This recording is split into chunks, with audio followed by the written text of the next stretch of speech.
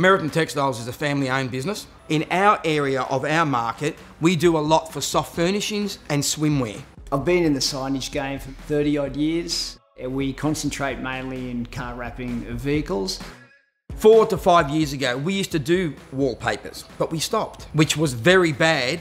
It tarnished our brand. I mean, why did we stop doing wallpapers? And unfortunately, it was as a result of equipment that couldn't give us consistency. We kept investigating which machines would and could do the job for us consistently day in, day out. A couple of years ago, our older machine was starting to play up. Our machinery was solvent ink based. The Epson come out with a water based ink, and that allows the, after the print, it can be instantly laminating without outgassing, and you can laminate your print and get it out to, to wrap the vehicle.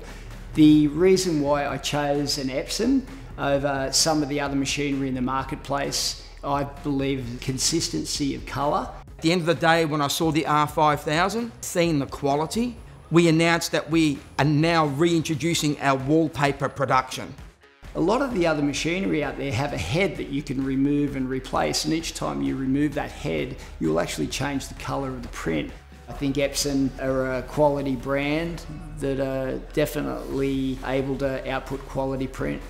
Irrespective of whether I go from our textured wallpaper to our plain wallpaper to our sticky back wallpaper or vinyl, as well as our upholstery vinyl, every single one of those medias are printing out the same.